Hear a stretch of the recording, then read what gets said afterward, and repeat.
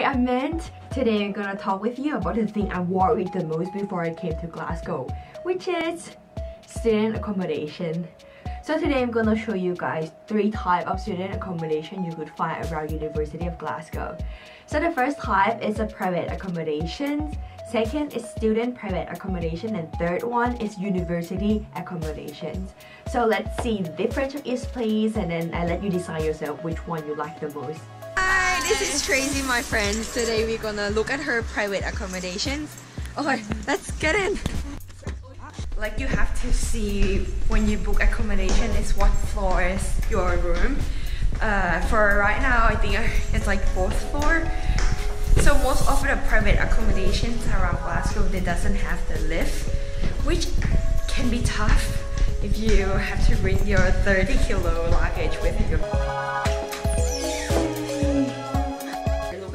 lovely bedroom.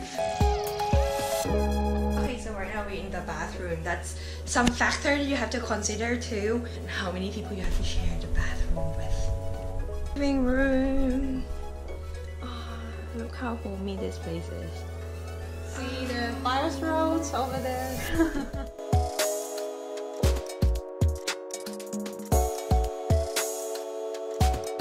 Thank you very much, Tracy, for showing us around to your room. And that's it for today. Bye-bye. Bye. Bye-bye. Next one. Next one is my room, which is a student accommodation. It is a Unite Student in Tramworks you have to walk around 20 minutes to university, but I love my flat. And welcome to my room, guys. This is my bedroom. It's pretty much have the basic thing that you would need and it starts to feel like home after you stay in here for some time.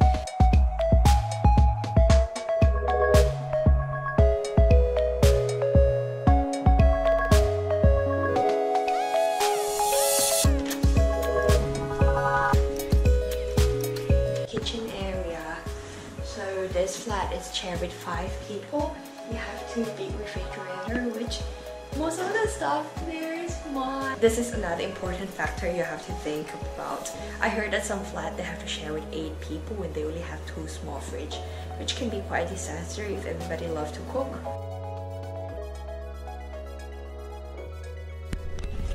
By the way, we also have dishwasher. Like staying in the flat quite scared me in the beginnings because I don't know who gonna be my flatmate. If you get good flatmate, it's like you win a lottery ticket and my flatmate are amazing. They are super nice people. We have two laundry room, one on the fifth floor and one right here. Which need key card to get in. Another factor you should take into consideration is how much is it cost to do laundry. For this place, I think the price ways too high, like sky high. The laundry one time it can take you like normally three pounds.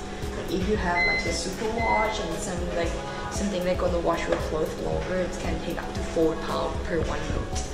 And for dryer, it's 1.7. But if you stay in a private accommodation, they usually have washing machine inside and you can use it for free but then you have to pay for the electricity so you have to wait out between the electricity cost or pay five pound per one load to wash your clothes Hi, and right now we're on the fifth floor and in this area we have another common area which we can sit up, hang out with friends, do some group projects over here or even have a movie night. Watch some Netflix over there.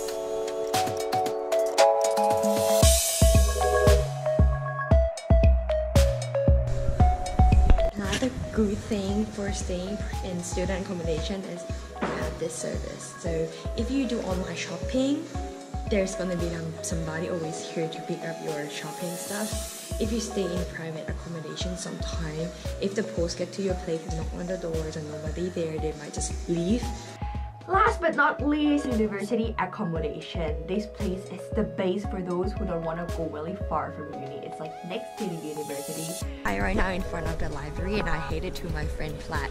And this accommodation, it's gonna be university student accommodations. The cool thing about this place, it's only two minutes walk from the uni. So for those who might want to wake up later or want to be super close to uni, it would be this would be a really great choice for you. I'm supposed to be her.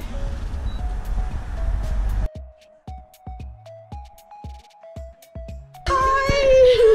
Hi. How are you? I'm good. One of the things about student accommodations is don't have your own bathroom. Aww.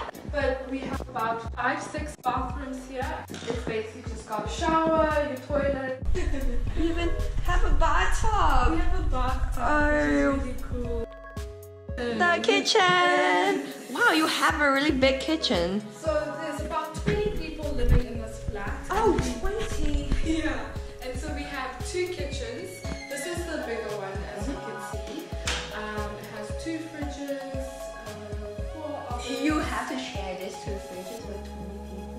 so the other kitchen has has another three fridges. So it's Okay. five fridges between 20 people, but there's Yeah. never enough The space. thing about this flat, I think it's the location.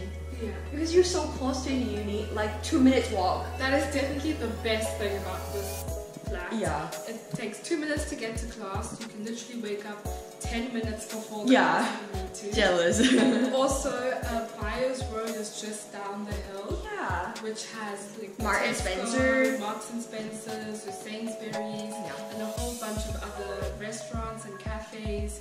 It's literally the best location, I think.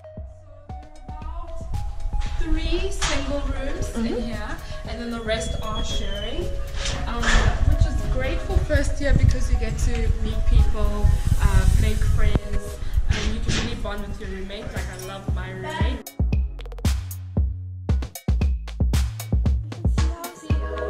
Yeah, you can see the city center From here? from there. Oh yeah, right there. Yeah. Oh, that's so nice. Okay, so this is the laundry room. Okay. So here's your laundry room. So there's uh, two machines for washing, two machines for drying, and we have an app which tells you when the machines are busy and when they're not. And Is it Circuit? It look like the same company. Yeah. They're same company but they charge more. that is not fair. so this is the same company that I have at my flat, and at my flat it's much more expensive, at least like 20%. Thank you really much for watching. Hope you guys enjoyed the video. This is three type of accommodation you could find around University of Glasgow, but there are more type than these three.